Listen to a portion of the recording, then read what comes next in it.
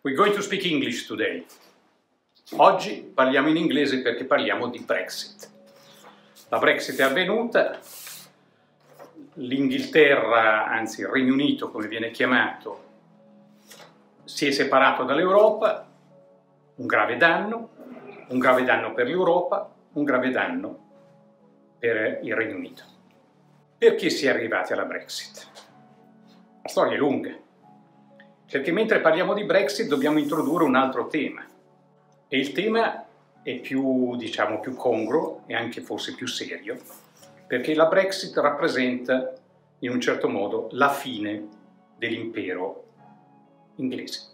Pochi sanno che all'inizio del secolo, del Novecento, del secolo scorso, diciamo 1920 per dire una data, il paese più grosso del mondo, quello che aveva il, diciamo, il prodotto interno lordo più alto, quello più ricco, quello con più mm, domini, con più soldi, con più colonie, con più presenza nel mondo, era l'Inghilterra. L'Inghilterra nel 1920 dominava il 27% della popolazione mondiale di allora, che era di un miliardo e sei, e dominava il 26% della cioè un quarto anche lì, un po' più di un quarto, del territorio mondiale, cioè qualcosa come 1.650.000 km quadrati, me lo so scritto perché è un numero altissimo. E ci è arrivata attraverso tante conquiste. Ci è arrivata in un giorno ovviamente, ma ci è arrivata diciamo in un periodo che possiamo porre, quello che gli inglesi chiamano Pax Britannica, che va dalla fine diciamo, dell'impero napoleonico, quando eh, Napoleone viene sconfitto appunto dagli inglesi a Waterloo, 1815, dalla pace che ne consegue, da allora gli inglesi diventano padroni del mare sostanzialmente. Ebbene, dall'815 al 920, cioè dopo la prima guerra mondiale, l'Inghilterra si impadronisce del mondo. Tutta l'India, una buona porzione di Africa, ma direi quasi la più grossa. Qui c'è una storia ovviamente, c'è la storia della Rhodesia, anzi c'è la storia di una persona, un certo Cecil Rhodes, che inizia andando in Sudafrica per fare, fare l'agricoltore. Poi si imbatte, adesso così recita la leggenda ovviamente, si imbatte in una pietra un po' particolare che guarda caso è un diamante enorme, ne capisce il valore, scambia l'agricoltura con, la con le miniere, diventa il maggior dire, proprietario di aziende di miniere di diamanti, fonda la De Beers, che tuttora oggi esiste sul mercato, e poi essendo molto ambizioso e molto forte cosa fa? Comincia a comprare tutto tutto ciò che è miniere intorno ai vari paesi, poi truffa un, il re del, del, paese appena sopra la, il Sudafrica, che oggi si chiama Zimbabwe, ma allora si chiamava, è diventato poi Rhodesia del Sud, e comincia a fare miniere d'oro, si prende la Rhodesia del Nord, che attualmente si chiama Zambia, e praticamente l'Inghilterra si prende tutto l'acrocoro praticamente che arriva fin su verso l'Egitto. Praticamente una parte, come, come dire, enorme dell'Africa. Se vedete la piantina dei possedimenti eh, inglesi del 1920 sono impressionanti. Cioè quando muore la, la regina Vittoria muore alla fine del, dell'Ottocento, verso i primi del Novecento, se guardate quella piantina praticamente vi rendete conto della presenza infinita dell'Inghilterra nel mondo, dal Canada fino all'Australia, passando per l'Africa e passando per tutta l'Asia. L'unica potenza che, che, la, dire, che la poteva controbattere era ancora la Francia, che ha una storia similare, un po' meno forte dell'Inghilterra anche lei molto forte nelle colonie, molto forte in Africa, molto forte nel sud-est eh, asiatico, abbastanza forte negli Stati Uniti nella parte canadese, francese, diciamo così, ma comunque inferiore ma di fatto noi stiamo parlando del primo paese e del secondo paese in termini di PIL. Questa è praticamente la fotografia, diciamo, dopo la prima guerra mondiale. Cioè l'Inghilterra è il padrone del mondo. Cent'anni dopo l'Inghilterra fa la Brexit. E diciamocelo, non ha più nulla. Perché cosa avviene in questi cent'anni?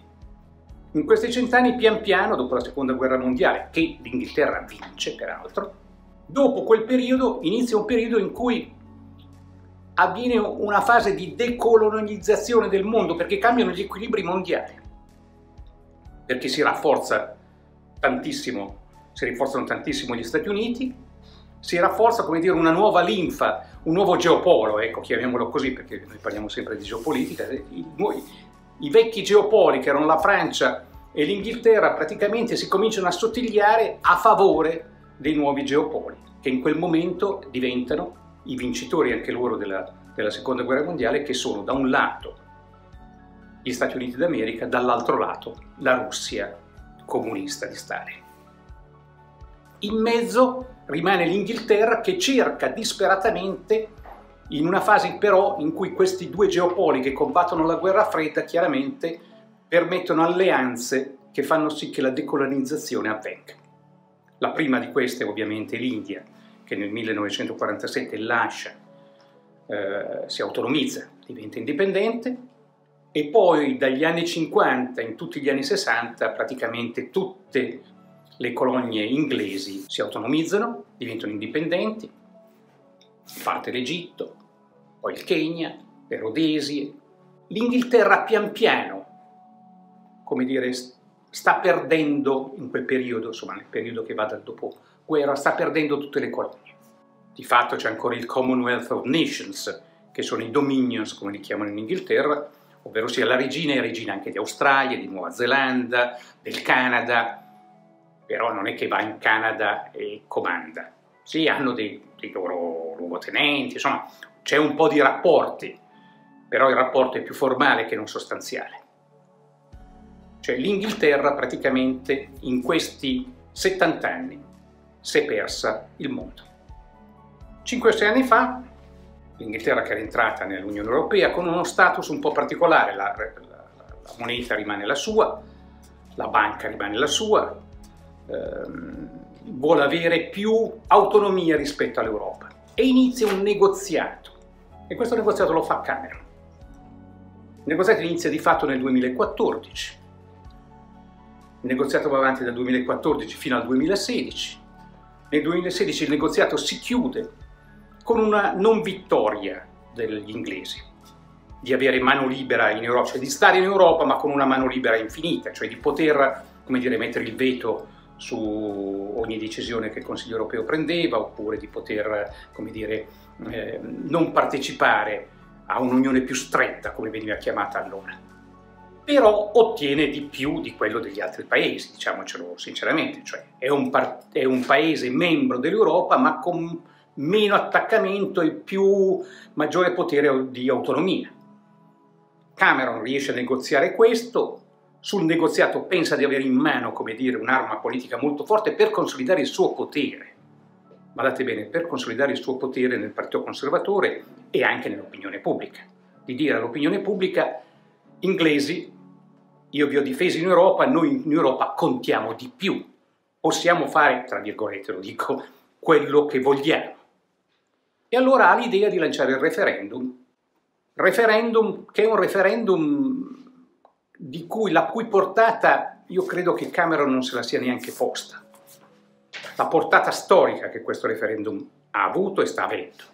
Perché l'ha, l'ha lanciato con una domanda molto semplice, vuoi rimanere in Europa oppure no? Insomma. Tanto che è leave o remain, queste erano le due opzioni. E l'Inghilterra si spacca, perché Cameron non ha, come dire, ragionandoci a posteriori ovviamente, non ha considerato una cosa, che è la cosa poi principale che abbiamo detto milioni di volte, e quindi ricordiamoci. Non ha considerato che la classe media in questi 70 anni dal dopoguerra ad oggi si è impoverita moltissimo.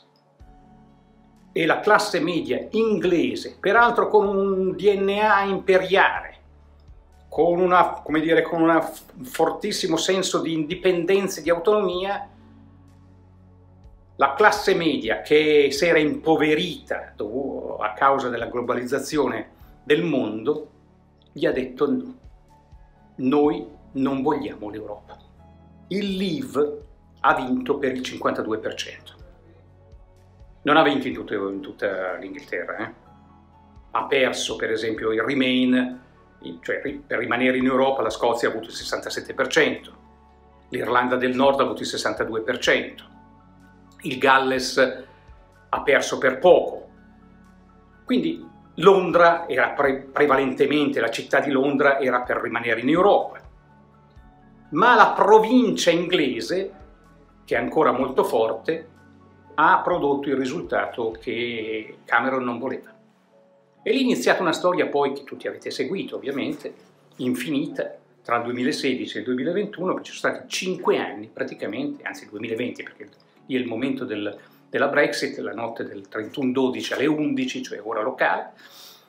Ebbene, lì è avvenuto quello che doveva avvenire, cioè hanno negoziato disperatamente per sembrava quasi che ci fosse un no deal, ricordate questi mesi scorso, un no deal, e invece alla fine, proprio su, sull'ultimo non miglio ma centimetro, Boris Johnson, che politicamente ha sfruttato la Brexit per diventare primo ministro, perché lui da conservatore, vicino a Cameron, è stato il primo a sposare la Brexit contro, cioè sposare diciamo, il, eh, il no all'Europa rispetto al sì che invece Cameron aveva. Quindi è diventato il suo antagonista all'interno del Partito Conservatore. La mediazione è stata Theresa May. Theresa May ha tentato per tre anni di negoziare, non ce l'ha fatta, l'ha mandata a casa, hanno fatto delle altre elezioni, ha vinto Boris Johnson. Boris Johnson ha negoziato, è arrivato fino all'ultimo centimetro e ha negoziato un accordo abbastanza buono, direi. L'Inghilterra è sostanzialmente fuori dall'Europa, però non è il mercato comune rimane, ehm, non ci sono come dire, le norme del, del, ehm, della trade, della World Trade Organization per quella dei dazi per capirci, ecco, per eh, le merci che entrano e escono, però ci sono una serie di regole che sconvolgono ovviamente un rapporto come eravamo abituati. Allora l'altra domanda che ci si pone è dove va l'Inghilterra? Beh, innanzitutto ha tre problemi in casa la Scozia, l'Irlanda del Nord e il Galles.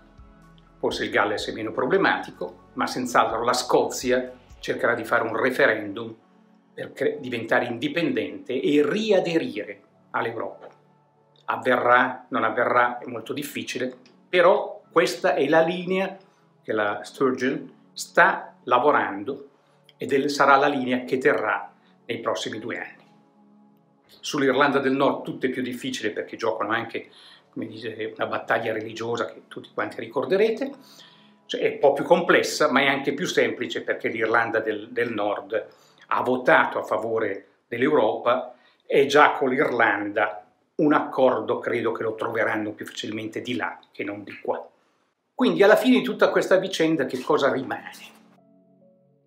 Rimane un problema enorme all'Inghilterra perché geopoliticamente l'Inghilterra se era nella, nella, rimaneva in Europa, trattava con l'Europa. Oggi è da sola, in mezzo isola, come sempre stata, in mezzo a questo grande mare, raccordo e cerniera tra gli Stati Uniti e l'Europa, ma gli Stati Uniti sono un, grande geopolo, l'Europa è un grande geopolo, quindi se trattano, trattano tra loro, non hanno più bisogno, come dire, per parlare con Parigi, con Berlino, eh, anche con Roma, prima andavano a Londra. Si mettevano d'accordo e poi venivano da noi, non so come, se, se spiego con questa piccola metafora eh, da, da, da viaggio. Oggi questo non sarà più, cioè politicamente non sarà più, non hanno, cioè, diciamo Washington tratta con Bruxelles, poi tratterà con gli altri paesi, con la Germania, con la Francia, con l'Italia, con i più grossi, con quelli che vorrà trattare. Non ha più bisogno dell'Inghilterra per mediare, per capire, per sapere, perché è fuori. L'Inghilterra è fuori. I suoi dominions rappresentano molto poco, sono 143 milioni, compresa l'Inghilterra, quindi come popolazione molto bassa. Tenete conto che l'Europa vale, vale oggi circa 17 trilioni, da sola l'Inghilterra ne vale 2,5. Quindi rimane un paese forte, un paese ancora importante, un paese senz'altro eh, solido, però da solo nel mare delle lotte tra i grandi geopoli. E allora che fine potrà fare? Se, spacca, se si spacca poi col Galles, con, eh, con la Scozia, con l'Irlanda, saranno problemi ovviamente. Ma immaginiamo che queste cose siano un po' più nel, nel tempo. Io credo che così, a naso, avendo una, so, una solida posizione nel terziario, soprattutto nel mondo finanziario, l'Inghilterra, cioè Londra, anzi Londra più che l'Inghilterra, diventerà una città-stato, una città riferimento, come dire, mondiale, un po' come lo è Singapore eh, per, eh, nella parte mm, asiatica. Cioè un punto non vorrei essere riduttivo ovviamente perché l'Inghilterra è molto più grossa, però vorrei dire un, un, punto di riferimento mondiale per la finanza, per un certo tipo di finanza. Sul piano dei rapporti geopolitici complessivi il suo ruolo diminuirà di, di anno con anno. E se poi ha all'interno anche ulteriori problemi, eh, la difficoltà aumenteranno sempre di più. Per l'Europa è un problema, e concludo con questo è un problema perché non avere l'Inghilterra, al di là che è una fetta importante del suo fatturato, del suo, diciamo, del suo PIL da, da grande geopolo, l'Inghilterra è parte culturale dell'Europa. L'Inghilterra è l'Europa. Noi ci siamo scannati, noi europei, ci siamo scannati per, per 2000 anni tra di noi e l'Inghilterra in questo ha avuto sempre un grandissimo ruolo. Cent'anni fa, insieme alla Francia, erano i padroni del mondo ed erano europei e si sentono europei e sono europei. Se da un lato forse l'Inghilterra trova una via di uscita nella finanza mondiale, io credo che eh, l'Europa dovrà fare di tutto per cercare di tenere l'Inghilterra sempre di più, sempre di più vicina a se stessa. A presto! Seguiteci, seguiteci su YouTube, seguiteci sui social, seguiteci sul nostro sito e ci vediamo al prossimo video.